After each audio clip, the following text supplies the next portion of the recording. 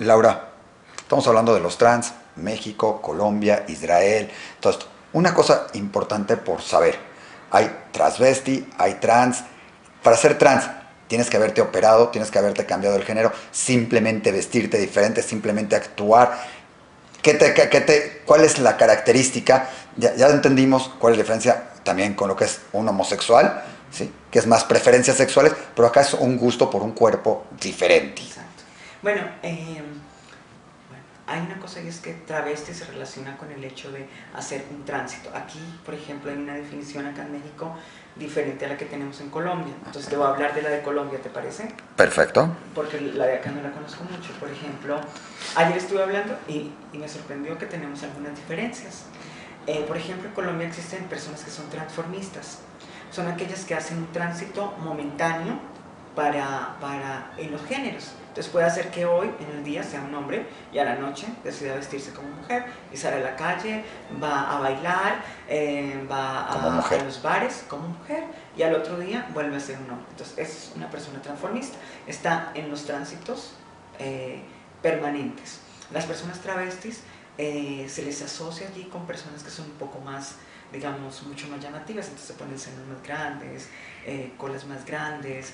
Eh, Generalmente además el transvesti se considera hombre a mujer, muchas veces, o sea, como que lo identificamos más. Claro, lo que pasa es que eh, es, es, una persona que, que, que, es ya un poco más llamativa, ¿ves? Entonces, ¿qué pasa? Pero no solamente eso, sino todo radica en su genitalidad. Entonces, por ejemplo, una persona travesti no le interesa hacerse una reasignación genital. Entonces, pues no tiene problema, simplemente adecua su cuerpo a lo que quiere, a lo que quiere ser, pero con su genitalidad no tiene problema. Y ahí entramos, quienes somos transexuales, yo soy una mujer transexual, una persona que se ha hecho una, una operación para, para ir cambiando y ajustando su cuerpo al sexo, al género en el cual quiere ubicarse.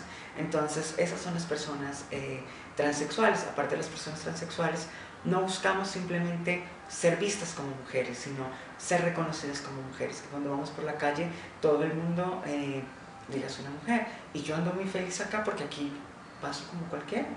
Entonces, eso me encantó de México.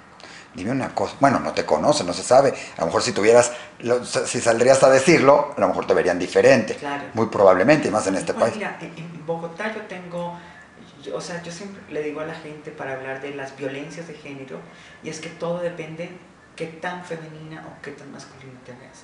Si tú te ves muy femenina, pues pasas muy bien, no tienes, la, la sociedad te acepta. Pero si se te nota mucho, la sociedad no te lo perdona, entonces no, no, eh, no pasarías tan bien. Yo, por ejemplo, le digo a todo el mundo, yo a la mañana me levanto y tengo mil cosas por hacer, entonces nunca me alcanzo a arreglar, entonces nunca me alcanzo a maquillar, y entonces me subo en el autobús y me voy maquillando. Y yo siempre, que las señoras se me sientan al pie y comienzan a preguntarme, ¿tiene usted esposo? Y les digo, no, y comienzan a hablarme y me preguntan cosas y, y mientras tanto yo me voy maquillando. Y mi pregunta siempre es, ¿qué pasaría si esa persona supiera que quien está a su lado no es una mujer como ella se lo imagina, una cisgénero, entonces una mujer que nació como mujer, sino una mujer que ha hecho un tránsito. Entonces yo digo, el trato no sería el mismo. O por ejemplo, cuando voy al médico, ¿qué paso? Y me dicen, señorita, ¿usted ya se hizo la citología? Y le digo, doctor, hace tres meses. Para mí eso es satisfactorio. O cuando voy por la calle me dicen, le puedo hacer una encuesta y me hacen encuestas de cuántos hijos tengo, entonces siempre digo, tengo dos. No tengo dos, pero, pero tengo Dios, dos. Le digo a todo el mundo, entonces... Eh, Como mujer hoy en día, ¿cuál sería tu preferencia sexual? Mi preferencia sexual, yo soy heterosexual, me gustan solamente los chicos. No se sentiría... Va, me tiene que poner. Este, dime algo, ¿sí? Cuando vas en la calle, cuando te ligas a un chavo, o sea, como mujeres, las mujeres te ligan, etcétera, etcétera. ¿Se lo dices, no se lo dices? ¿Cómo es tu actitud? Bueno, un día aprendí que es mejor decirlo. Bueno. Hace algún tiempo salía a los bares y iba por la calle y me pedían el teléfono y claro, yo se los daba sin problema y todo.